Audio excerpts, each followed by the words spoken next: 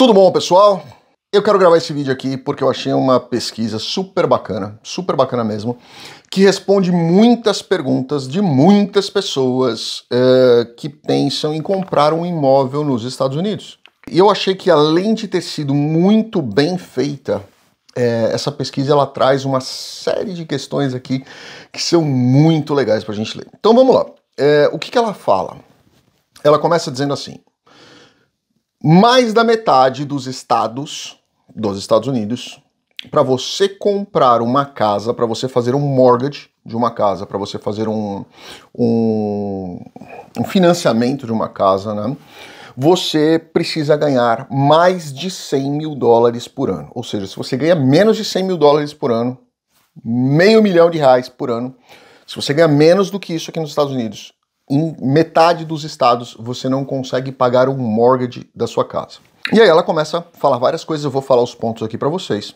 E lembrem, na hora que vocês olharem aqui os valores que eu vou, vou trazer aqui para vocês, é, lembrem-se que além desses valores, você tem o seu custo de vida, né, de manutenção, de, de é, comida, gasolina, telefone, água, luz, lixo, é, uma série de, de, de outros pontos que você precisa também colocar nessa conta. Né? E eles começam a mostrar aqui para vocês qual é o, a média de valores de mortgage, de, de financiamento de casas é, em diversas cidades dos Estados Unidos. E as casas que eles colocam aqui, vocês vão ver que são casas de padrão médio para médio baixo, tá? É, eles até falam aqui uma, um valor médio, mas eu, eu entendo que aqui é um médio baixo, porque eles colocam aqui, inclusive é, na Flórida, eles colocam casas aqui de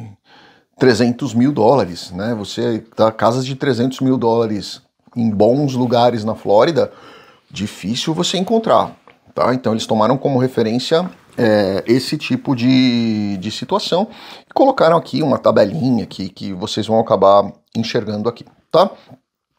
Mas vamos lá, vamos, vamos colocar aqui, é, que eu acho que é importante a gente dar uma olhada aqui e a gente começar a falar. Primeira coisa, eu vou deixar aqui na descrição um link para vocês clicarem, acessarem essa pesquisa para vocês verem. Eu acho que vocês vão ter é, uma, uma ideia bem legal. Então vamos lá. O primeiro aqui, o mais caro de todos aqui, eles colocaram uma casa média, padrão médio, tá? Em San José, na Califórnia. É, o padrão médio da casa, 1 milhão 618 mil dólares. Uma casa média, tá? Uh, você não consegue comprar se o seu salário anual for inferior a 373 mil dólares. Tá? Ou seja, se você ganhar menos de 1 milhão e 700, 1 milhão e 800 mil por ano, reais, né? É, se você ganhar menos do que isso, você não consegue é, pagar esse, essa, esse mortgage dessa casa. Segundo lugar, São Francisco, também Califórnia. Casa em média 1 milhão 192.600 dólares. Você não consegue com, comprar com menos de 282 mil dólares por ano de salário. Terceiro, San Diego, também Califórnia. Quarto, Los Angeles, também Califórnia. Eu vou descendo aqui para vocês irem é, olhando, tá? Quinto, Seattle, é, no estado de Washington, tá? Não tem nada a ver com Washington DC. Uh, Boston, Boston, Massachusetts, vamos falar de Boston, porque Boston tem muitos brasileiros lá que perguntam sempre isso.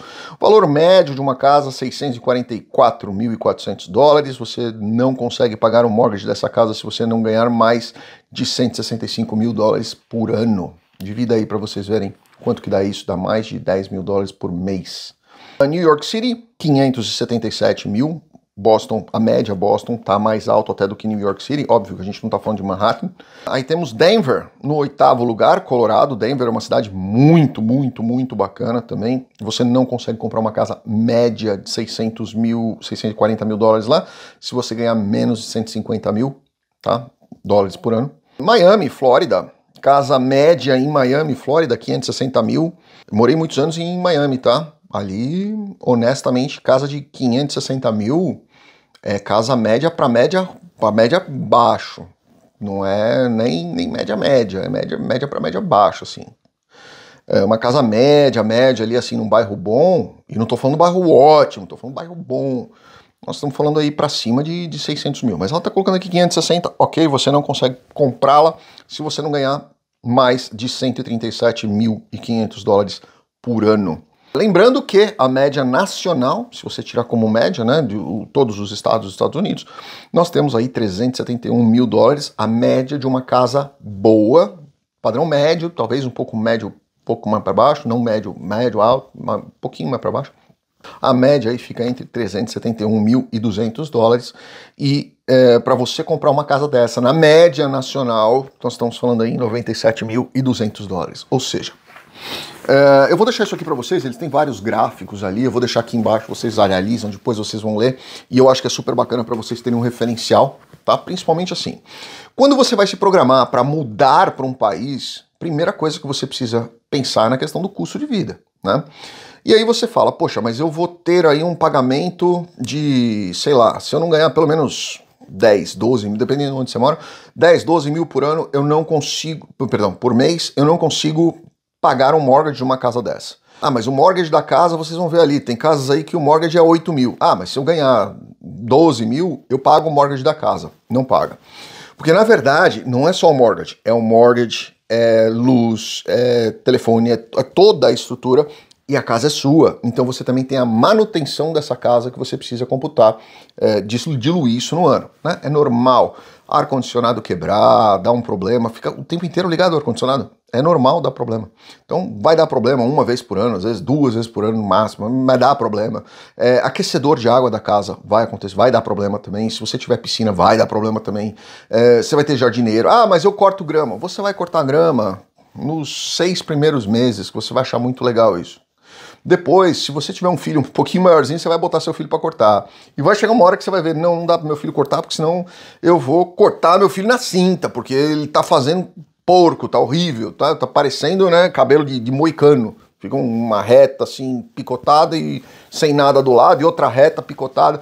Então você precisa contratar um jardineiro. Então na hora que você chama tudo isso aí para limpar a piscina e tudo mais, essa conta sobe muito. Né? Calha em top, é, telhado, passou furacão, passou vento forte, caiu chuva de granizo, vai quebrar telhado, vai dar problema no telhado, vai ter que refazer. Então assim, isso é normal acontecer. Tem um monte de gente que acha a coisa mais fofa esquilo, né?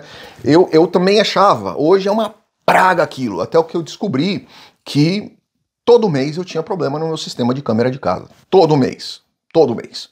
E toda hora vinha o cara e ele refazia, trocava a fiação, ajustava e tal. Mas ele não me falava o que era. Ele falava, oh, é 200 dólares. Eu, pá, 200 dólares. Ah, mais 200. Pá, 200. Ah, mais 200. Mais 200. Eu, caramba, eu tô pagando demais. Eu virei para ele e falei, cara, o que que tá acontecendo? Ele falou, é esquilo. Eles estão roendo o fio. Então, vai acontecer, a menos que você coloque aí uma câmera sem fio, né, com, com é, aquelas que captam energia solar, ou que você coloque aí um cabo metálico em volta desse fio, parece uma serpentina metálica. E eu acabei fazendo isso.